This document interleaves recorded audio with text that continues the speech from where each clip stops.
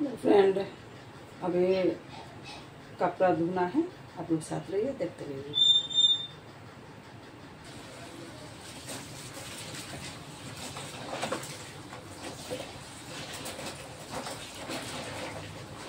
Bathroom में जाके नीचे ना नहीं बैठ सकती, कुछ प्रॉब्लम है। इसलिए मैं यहाँ पर सिंक में ही और थोड़ा सा कपड़ा है, वहाँ पर ही हूँ, ठीक है?